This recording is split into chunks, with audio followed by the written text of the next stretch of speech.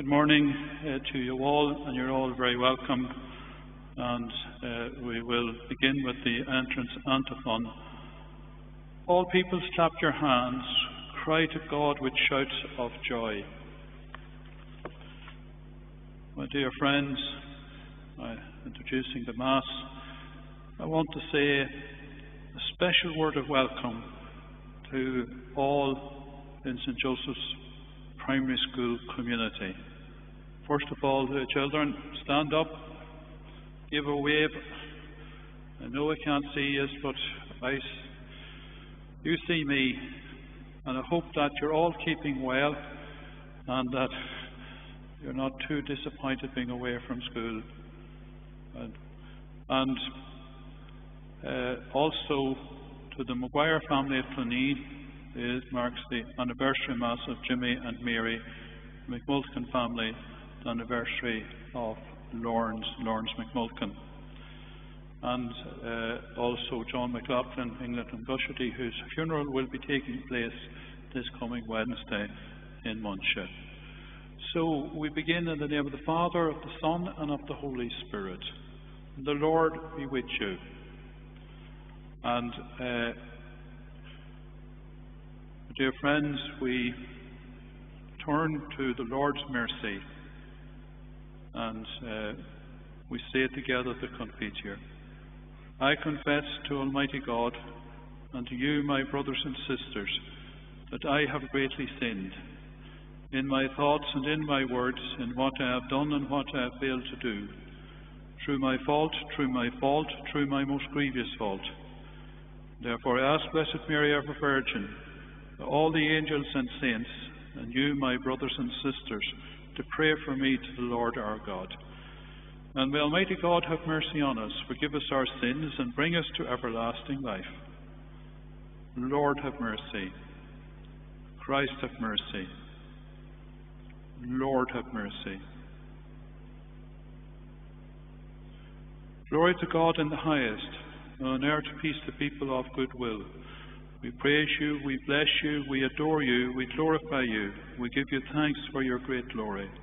Lord God, Heavenly King, O God, Almighty Father, Lord Jesus Christ, only begotten Son, Lord God, Lamb of God, Son of the Father, you take away the sins of the world, have mercy on us. You take away the sins of the world, receive our prayer. You are seated at the right hand of the Father, have mercy on us. For you alone are the Holy One, you alone are the Lord, you alone are the Most High Jesus Christ, with the Holy Spirit, and the glory of God the Father. Amen. And we pray, grant, O Lord, that we may always revere and love your holy name, for you never deprive of your guidance those you set firm on the foundation of your love. Through our Lord Jesus Christ, your Son, who lives and reigns with you in the unity of the Holy Spirit, one God forever and ever. And my dear friends, I welcome Lisa, who will read the lessons. And the first reading uh, is a reminder of the struggle of the following Christ, the struggles of the prophet. A reading from the prophet Jeremiah. Jeremiah said, I hear so many disparaging me, terror from every side. Denounce him, let us denounce him. All those who used to be my friends watched for my downfall.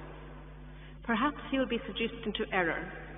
Then we will master him and take our revenge. But the Lord is at my side, a mighty hero. My opponents will stumble, mastered, confounded by their failure. Everlasting, unforgettable disgrace will be theirs. But you, Lord of hosts, you who probe with justice, who scrutinize the loins and heart, let me see the vengeance you will take on them, for I have committed my cause to you. Sing to the Lord, praise the Lord, for he has delivered the soul of the needy from the hands of evil men. The word of the Lord. In your great love, answer me, O God. In your great love, answer me, O God. It is for you that I suffer taunts, that shame covers my face, that I have become a stranger to my brothers, an alien to my own mother's sons. I burn with zeal for your house, and taunts against you fall on me. In your great love, answer me, O God. This is my prayer to you, my prayer for your favour. In your great love, answer me, O God, with your help that never fails. Lord, answer, for your love is kind, and your compassion turned towards me. In your great love, answer me, O God. The poor, when they see it, will be glad, and God seeking hearts will revive. For the Lord listens to the needy and does not spurn his servants in their chains. Let the heavens and the earth give him praise, the sea and all its living creatures. In your great love, answer me, O God. A reading from the letter of St. Paul to the Romans. Sin entered the world through one man, and through sin, death. And thus death has spread through the whole human race because everyone has sinned. Sin existed in the world long before the law was given. There was no law, and so no one could be accused of the sin of law breaking. Yet death reigned over all from Adam to Moses, even though their sin, unlike that of Adam, was not a matter of breaking a law. Adam prefigured the one to come, but the gift itself considerably outweighed the fall. If it is certain that through one man's fall so many died, it is even more certain that divine grace, coming through the one man, Jesus Christ, came to so many as an abundant free gift. The word of the Lord. We greet the gospel. Alleluia, alleluia. The Word was made flesh and lived among us.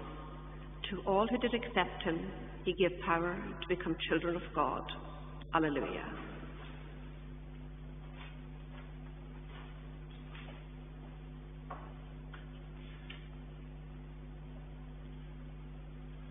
The Lord be with you. A reading from the Holy Gospel according to Matthew. Jesus instructed the twelve as follows Do not be afraid. For everything that is now covered will be uncovered, and everything hidden will be made clear. What I say to you in the dark, tell in the daylight. What you hear in whispers, proclaim from the housetops. Do not be afraid of those who kill the body, but cannot kill the soul. Fear him rather who can destroy both body and soul in hell. Can you not buy two sparrows for a penny? Yet not one falls to the ground without your Father knowing it. Why, every hair on your head has been counted. So there's no need to be afraid. You're worth more than hundreds of sparrows. So if anyone declares himself for me in the presence of men and women, I will declare myself for him in the presence of my Father in heaven. But the one who disowns me in the presence of men and women, I will disown in the presence of my Father in heaven. The Gospel of the Lord.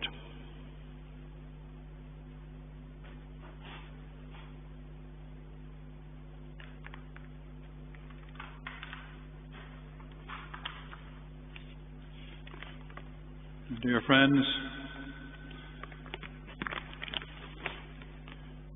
um, I was just thinking there that that statement, Jesus reassuring God's love for all of us, particularly for his disciples, when he says, Why every hair on your head has been counted. Well, I was just thinking that a lot of people, a lot of the mothers and the men, fathers, teachers, and everybody else, a lot of us can't be waiting. We're, fed up waiting for the hairdressers, the barbers, and all that to open. And uh, I'm sure they're going to be very busy when they reopen uh, on the second weekend of July. So, but besides that, uh, today's Mass is, of course, being offered as an end of year school Mass for uh, the school community we have here in our parish, uh, St Joseph's Primary School. Indeed, that is why uh, we have the representations here in uh, the sanctuary. You know, first of all, picture the school, school book, school jumper, and the football, uh, a way in representing all aspects of school life and indeed uh, our school's identity. Uh, and then, of course, on the bigger poster here, we have pictures of each member of P7 who, in normal circumstances, this would be their final few days at primary school. And indeed, they are especially in our thoughts today. But maybe my own thoughts best summed up by a message from Master Monaghan uh, to the school community. And what I'll do is I'll read that out and I'll add on just a few very, very small comments myself. Dear pupils, parents, staff, governors, and fellow parishioners, unfortunately this school year is ending, not you or I would have wanted. June is traditionally a busy month, but an exciting one to be in school. Our sports day and our school trip would have been memorable events. We would have participated in a variety of inter-school competitions in athletics and football, and our corridors would have been full of excitement in anticipation of the holidays to come and the nervousness that accompanies moving on to the next stage. Alas, this year, with the advent of the coronavirus, we've had to forego these many happy events, and our corridors are silent. Today's end of year Mass, however, is a beautiful occasion in which we thank God for all that has been achieved throughout the school year. We especially give thanks for our health and the fact that our school community and parish has been protected from the worst ravages of this terrible virus. We also give thanks for our wonderful children, parents, staff, and governors. Without your support and help and understanding, this time would be even more challenging. I'd like to thank all our pupils for the really important role that they have played in staying at home, washing your hands, and keeping your distance. This was something that was very difficult for you to do. Staying away from friends, cousins, grandparents was indeed a very big task. I would like you to know that in doing so, you have truly been heroes and saved lives. And for that, the uh, school classes of 2020 will go down in history as a very special group indeed. I'd like to take the opportunity to wish all our P7 pupils every happiness and success in their new schools. We're very proud of all you have achieved during your time in St. Joseph's. You've been great children to work with, and we have every confidence that you will continue to do yourselves, your families, and us proud in the years ahead. Best wishes, Mr. Liam Monaghan, School Principal. And indeed, uh, Mr. Monaghan, thank you for uh, those comments, and may I also endorse them. And uh, just to say again a personal word of compliment to the school community in what has been uh, an extraordinary year, maybe the most, one of the most extraordinary years, the, if not the most extraordinary year in the history of the school, and indeed the history of schooling in the parish. Uh, but nevertheless, um, I have been deeply impressed by your dedication, especially to keep um, the learning going uh, in providing uh, lessons for homeschooling. May I also say a complimentary word to the parents. Obviously, this has been a very tough time for yourselves. I know a lot of you um, may have lost jobs or couldn't go to work, uh, and uh, maybe a lot of you were working from home and had to combine homeschooling uh, with your work or with your activities and so on. It hasn't been easy for you. And of course, as Mr. Monaghan mentioned, the children and what they missed out on, not just in terms of learning, but all the fun and the excitement that there is, particularly in the weeks of June, as we move towards the summer holidays. P7, of course, I spoke to a few weeks ago on the Feast of Pentecost, and of course, we'll always remember you, and also on my own behalf, I wish you all the best, uh, all blessings from uh, from God upon you. And we'll ask you now to please stand. And uh, we profess our faith. We say together the Nicene Creed. I believe in one God, the Father Almighty, maker of heaven and earth, of all things visible and invisible. I believe in the one Lord Jesus Christ, only begotten Son of God, born the Father before all ages, God from God, light from light, true God from true God, begotten, not made, consubstantial with the Father, through whom all things were made. For us and for our salvation came down from heaven, and by the Holy Spirit was incarnate the Virgin Mary and became man. For our sake he was crucified under Pontius Pilate. He suffered death and was buried, and rose again on the third day in accordance with the Scriptures. He ascended into heaven and is seated at the right hand of the Father. He will come again in glory to judge the living and the dead, and his kingdom will have no end. I believe in the Holy Spirit, the Lord, the giver of life, who proceeds from the Father and the Son, who with the Father and the Son is adored and glorified, who has spoken through the prophets. I believe in one holy Catholic and Apostolic Church. I confess one baptism for forgiveness of sins. I look forward to the resurrection of the dead and the life of the world to come. Amen.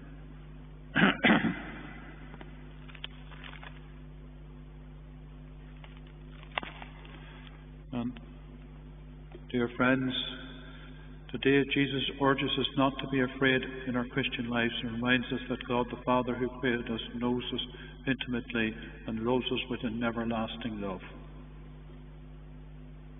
Remember all in our school community of St Joseph's Primary School. Remember especially the pupils in P7 who are completing their primary education and preparing for secondary school. Help them to grow in faith, hope, and love. Lord, hear us. Lord, graciously hear us.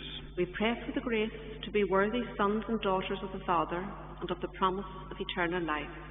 Lord, hear us. Lord, graciously hear us. We ask you, Lord, to help us in everything we do. Give us strength when we are weak and protect us from all dangers during this pandemic.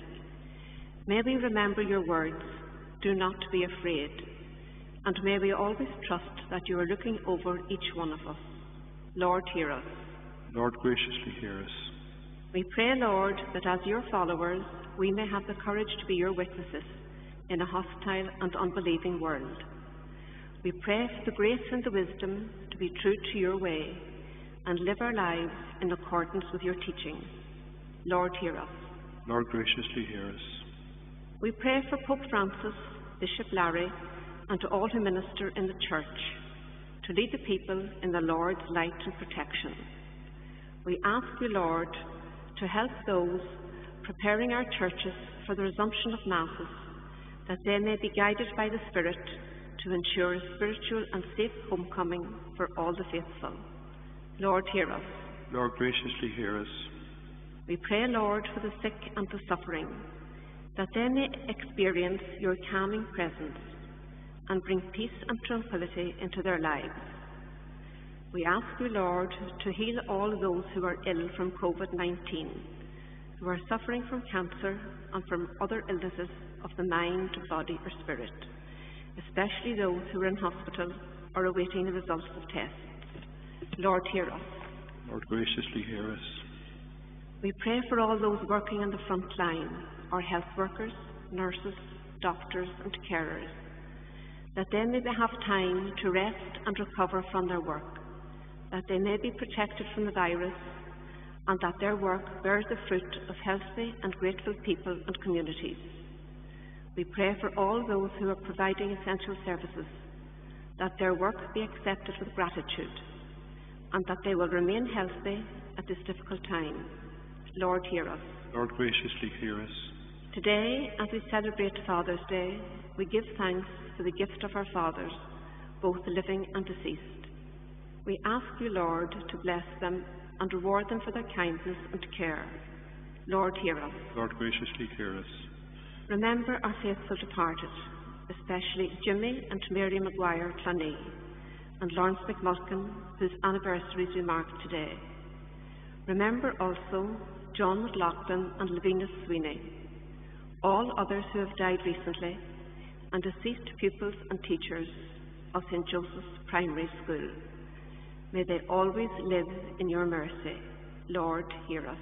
Lord, graciously hear us. And if any personal, private intentions, make them now in a few moments of silence.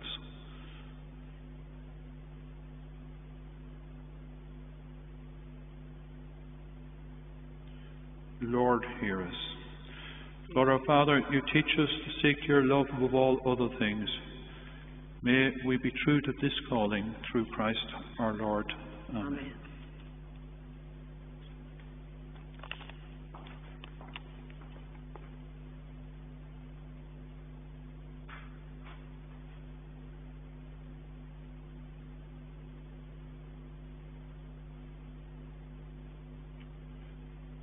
Blessed you, Lord God of all creation, to your goodness we have this bread to offer, which earth has given us and human hands have made it become for us the bread of life.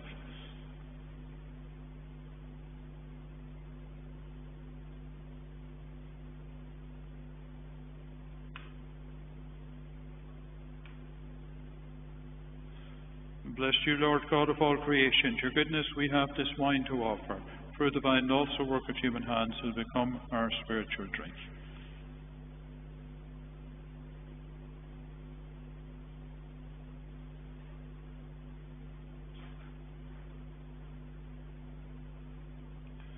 Pray now, my sisters and brothers, that my sacrifice and yours may be acceptable to God our Almighty Father. O God, who graciously accomplished the effects of your mysteries, grant, we pray, that the days by which we serve you may be worthy of these sacred gifts, through Christ our Lord. Amen. And the Lord be with you. Lift up your hearts. Let us give thanks to the Lord our God. It is truly right and just our duty under salvation, always and everywhere, to give you thanks, Lord, Holy Father, Almighty and Eternal God. For in you we live and move and have our being. And while in this body we not only experience the daily effects of your care, but even now possess the pledge of life eternal. For having received the first fruits of the Spirit, through whom you raised up Jesus from the dead, we hope for an everlasting share in the paschal mystery. And so, with all angels we, and all saints, we praise you as in joyful celebration we acclaim Holy, holy, holy Lord God of hosts. Heaven and earth are full of your glory. Hosanna in the highest. Blessed is he who comes in the name of the Lord. Hosanna in the highest. You're indeed holy, O Lord, the fount of all holiness. Make holy, therefore, these gifts, we pray, by sending down your Spirit upon them like the dewfall, that they may become for us the body and blood of our Lord Jesus Christ. At the time he was betrayed and entered willingly into his passion, he took bread and giving thanks broke it and gave it to his disciples, saying, Take this, all of you, and eat of it, for this is my body, which will be given up for you.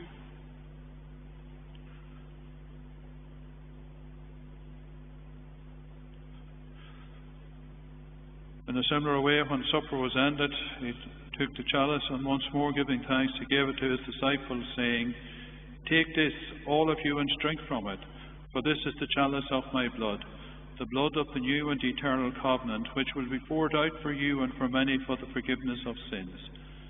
Do this in memory of me.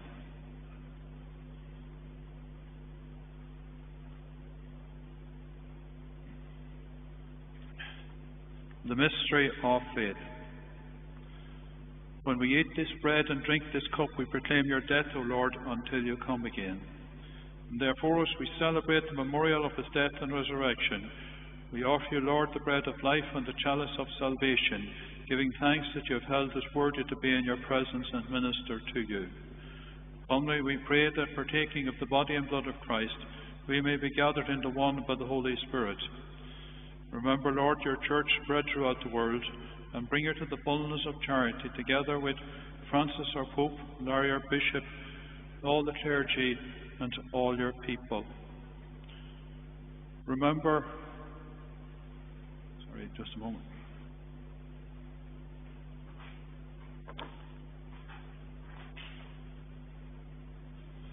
Remember your servants Jimmy and Mary Maguire and Lawrence McMulkin, whom you have called from this world to yourself.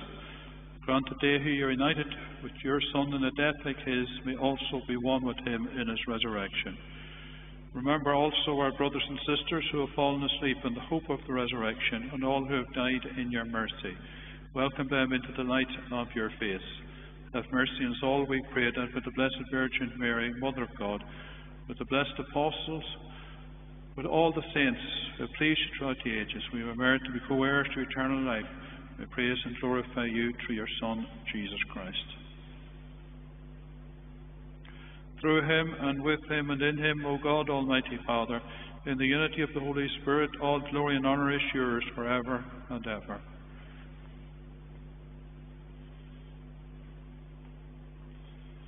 Now, at our Saviour's command, informed by divine teaching, we dare to say, Our Father, who art in heaven, hallowed be thy name. Thy kingdom come, and thy will be done on earth as it is in heaven. And give us this day our daily bread, and forgive us our trespasses, as we forgive those who trespass against us. And lead us not into temptation, but deliver us from evil. Deliver us, Lord, we pray, from every evil. Graciously grant peace in your days, that by the help of your mercy we may be always free from sin and safe from all distress, as we await the blessed hope and the coming of our Saviour Jesus Christ. Lord Jesus Christ, who said to your apostles, Peace I leave you, my peace I give you. Look not on our sins, but on the faith of your church, and graciously grant her peace and unity in accordance with your will, who live and reign for ever and ever. The peace of the Lord be with you always. We just now pause for a moment and we wish other, especially all the St. Joseph School community, I wish you peace and happiness, especially this summer. Lamb of God, you take away the sins of the world, have mercy on us. Lamb of God, you take away the sins of the world, have mercy on us. Lamb of God, you take away the sins of the world, grant us peace.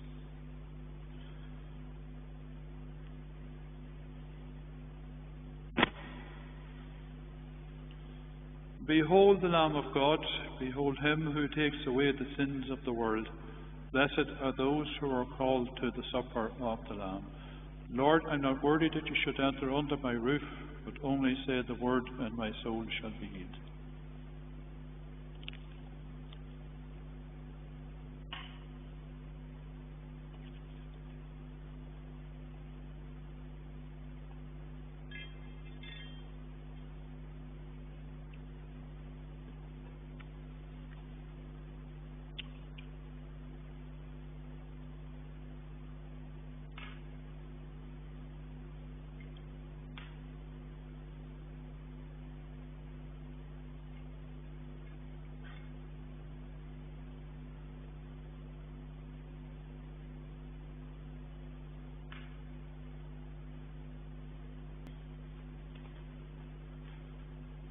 Let us pray.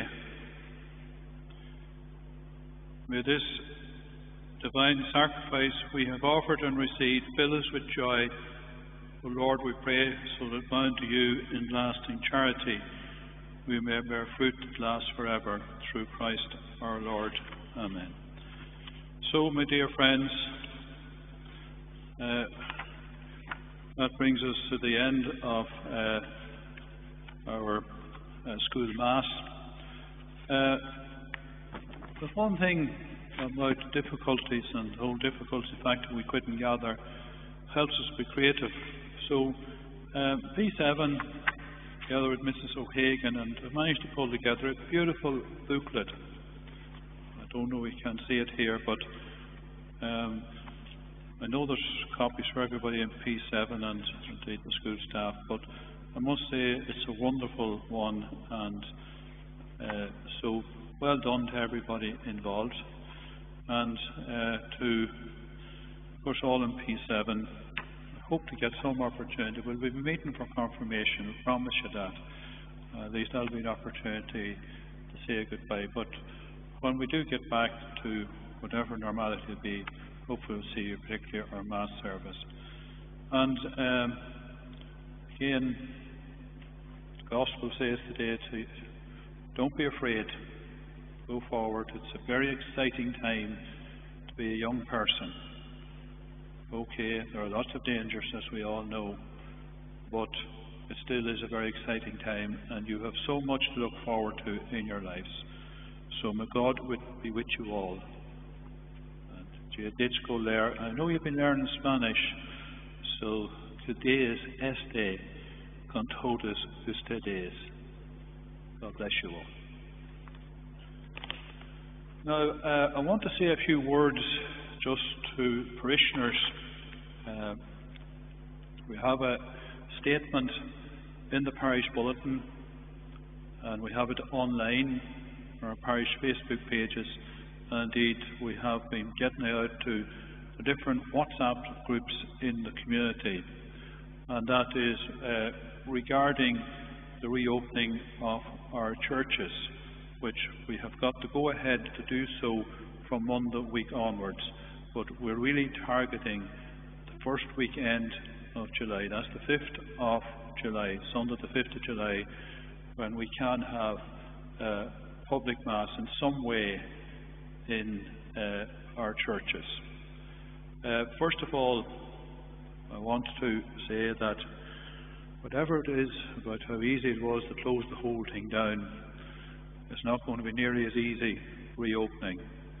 And that's for sure, because it will it'll also be uh, pretty costly as well, uh, because I have, you know, already spent nearly a thousand pounds on all the equipment and sanitizing liquid and so on that we will need when we reopen. Plus the fact we will also be having a deep clean of both churches before the reopening. And uh, so it comes to the guts of at least uh, £1,500. But uh, having said that, you know, there are two extremes that really have to avoid.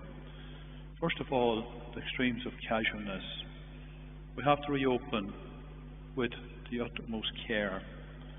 That we know that you know there has been, you know, Fermanagh essentially has been one of the safest counties, not the safest in the whole country.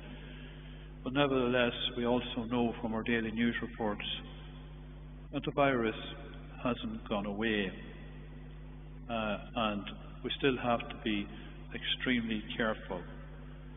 Uh, in that vein, I say that anybody that is vulnerable, and that is the elderly, those over 70, and uh, those who have uh, an ongoing illness, especially respiratory ailments, uh, that uh, for the time being you should stay at home and join us by live streaming. Uh, also, we will be strongly encouraging people to wear face masks or face coverings uh, when in the church. Uh, and uh, churches obviously will have to be cleaned before and after each gathering. However, the other extreme is, you know, extreme fear.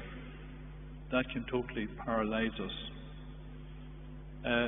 The message is becoming strongly across from all the experts and the professionals is that if we take the ordinary and necessary precautions, like cleaning our hands, you know, wearing face masks.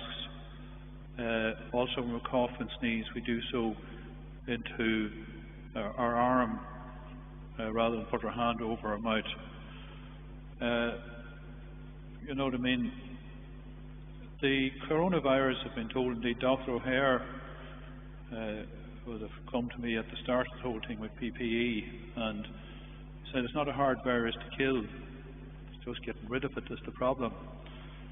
Uh, and also, you know, the, the, church is pretty safe, and I know we've no sacristan at the moment, but uh, every day when I'm opening the church, I go to the doors, the handles, door panes, and all that with disinfectant and clean them. Indeed, you'll see the stains of disinfectant on some of the door pans, door panes. Uh, I also go to areas where the people may go to pray, such as the shrines, statues, uh, Divine Mercy corner over here, uh, Our Lady's Chapel, and I clean those areas, wipe those areas as well with disinfectant. And also here in front of the altar, anniversary book, I clean it on a daily basis, the cover of it, and I clean the altar rails around it. And, you know, thankfully nobody's got an infection that can be traced back to either of our churches. So our churches are, are quite safe. However, uh, we will need uh, quite a number of volunteers for keeping the church clean and also helping to usher and to steward the whole uh, process of reopening. And uh, like I say, we're going to take it you know, back to social distancing and so on. I forgot to mention that in the church as well. And uh, all volunteers who come forward to help will be provided with the basic protective equipment, that is, face masks and with gloves. So, now normally people nowadays who volunteer for church activities are usually older people, but this time we can't have that. We're looking for a younger group of people. And if enough people come forward, then, you know, uh, everything should be safe. And uh, also, it means that, you know, people will not be having to give up too much of their time. So, I appeal for uh, volunteers. And by the way, in relation to the cleaning, uh, Wayne Little of cleaning doctor will be providing uh, instructions for those cleaning in the churches uh, at 4 p.m. on Friday evening. If anybody is available, be more welcome to come along.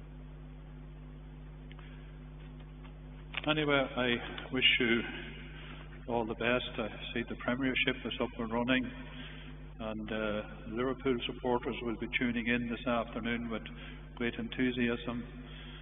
Um, also, Leeds United are playing. I'm a Leeds supporter, and I share the whole thing with Liverpool. We are very strong in the running for promotion, so I was hoping that we would get promoted this year. But and of course, good news on the GAA front as well. That please God, the football hurling matches will be returning at club level uh, in the middle of July. So uh, it's good to hear. But anyway, I uh, hope you all have a good weekend and also farewell for the time being to all in our school community. The Lord be with you. And may Almighty God bless you all, the Father, the Son, and the Holy Spirit. Let us go in peace to love and serve the Lord. And by the way, children, don't go away. I'm going to play when we go back into the sanctuary. This little light of mine, let it shine.